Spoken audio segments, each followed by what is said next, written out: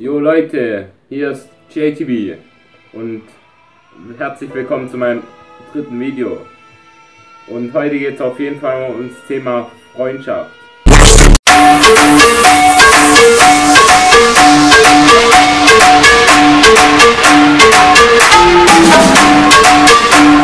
Wie schon gesagt, heute ist das Thema Freundschaft und ich hatte einen sehr guten Freund.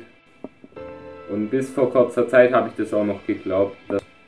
Das Ganze habe ich gedacht, weil wir immer in der Mittagspause er mal was gezahlt hat oder ich und wir auch öfters in der Schule gechillt haben und er auch mit mir über alles reden konnte und mich auch so akzeptiert hat, wie ich bin. Auf einmal war es so gewesen, dass er nicht mehr so viel zahlen musste und nur noch ich.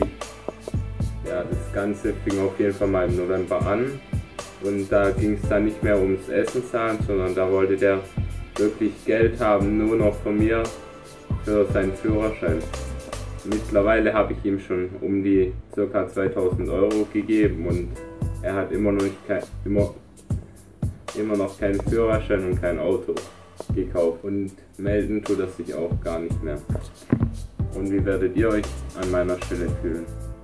Und oder wie würdet ihr reagieren?